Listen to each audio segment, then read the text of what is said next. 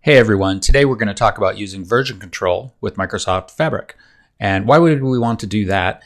Uh, the reason is because we're when we're editing notebooks and other assets in Fabric, um, usually we're using autosaves. So any change we make is immediately saved into the Fabric workspace. And we might make a mistake and we want to go back into another uh, version of that asset from maybe yesterday or last week if we made a mistake and, and made a change we didn't really want. The second reason is we might want to actually push changes that we made from a development to a production environment, and we can use Git to do that with Fabric as well. But in this video, I'm just going to cover the basics of how do I actually set this up? How could I set up a version control Git repo to uh, manage the code in my notebook? So let's get started. To get started, I'm going to create a brand new workspace. I have to give it a name, so I'll just call this um, repo demo workspace. And on no description, assign. This is actually fine. Advanced. I don't think I need to do anything here. That's fine. Apply.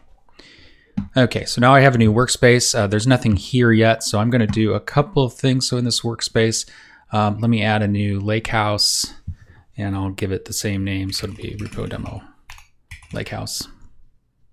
Great. And I'm just going to set up a really quick uh, data source and some uh, a demo uh, notebook that we'll use to put into uh, into Git. So in files, let me just upload a file that I have. Okay, and this file is uh, SpaceX Falcon launches, so let me upload that. And pretty quick, it's a very small file. And then if I look in that folder, I have that file there. Now let's create a new notebook.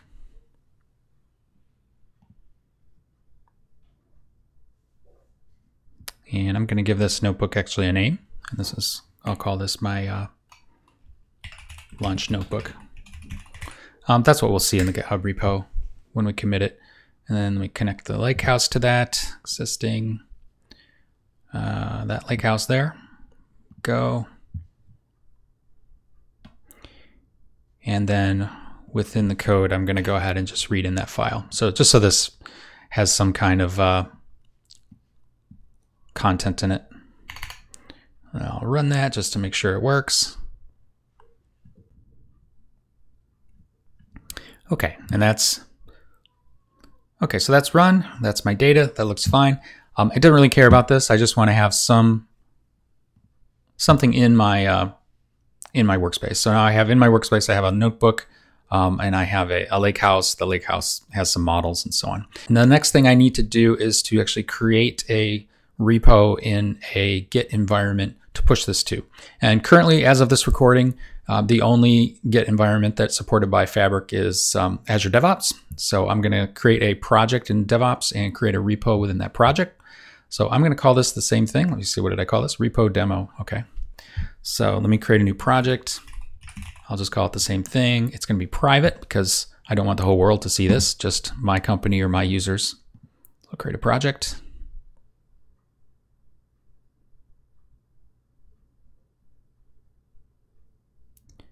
Okay, welcome to the project. That's great. Let me go to the repos, and a repo has already been created for me, uh, but I do want to create a new branch that I'm going to push this to. And in this situation, I could have multiple branches, like if I had development and production, uh, fabric environments or something like that. But in this case, I really just want to have one main branch. So we're going to keep it simple. So we're going to have a README. Um, we don't need a git ignore. It will initialize the main branch. And we'll reference this from Fabric. Great. So if I look at the main branch at this time, there's a README on there and nothing else. Uh, this is enough. So this is set up and the Git repo is ready for us. So we can look at, here's our, our, our data science uh, view of the workspace again. So the next thing I'm going to go into workspace settings. I'm going to choose Git integration and you see the which Git environment to connect with and Azure DevOps is actually the only option. So that's fine. Uh, then I choose the organization. So this is the same organization that I used over here. So the, this is the same organization, cur.cc here, or cur.cc is the uh, is the org. The project is the one we just created. The repo is the one we just created. And then the branch is main, that branch we just created. The folder you can use. So if I wanted all of this um, if I wanted this this notebook to go into a specific folder, maybe I have a different folder for different notebooks, I could actually do that. In this case, just the root of the repo is, is fine. So we'll click connect and sync.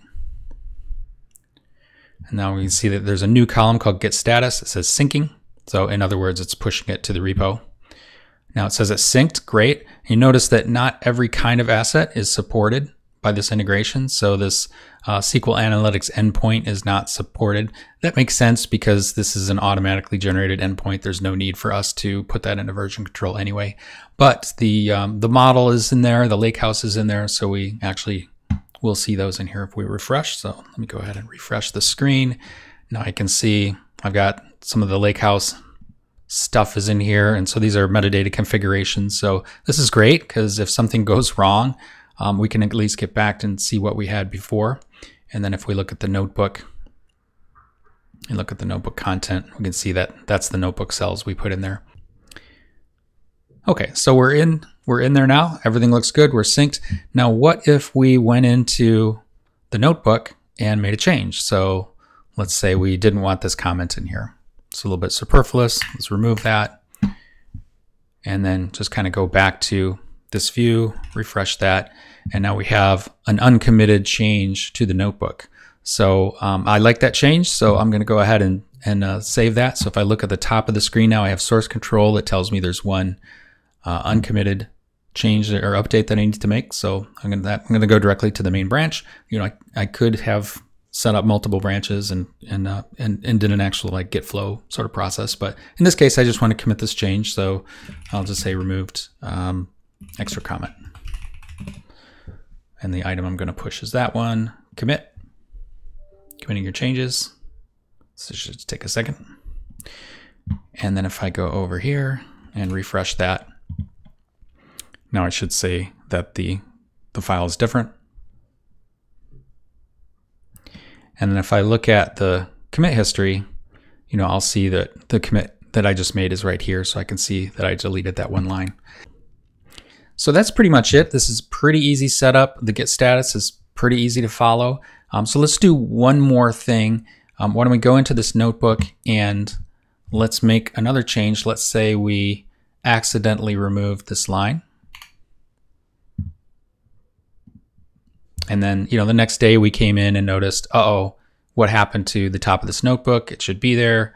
Um, that's a problem. Let's go over here. And instead, we're going to undo that change. So any uncommitting changes will be undone. Okay. Now it's pulling it back from the repo to overwrite what I have in my uh, environment. So undoing, they call that undoing changes, but really it's just kind of a doing a fetch from the repo back into Fabric.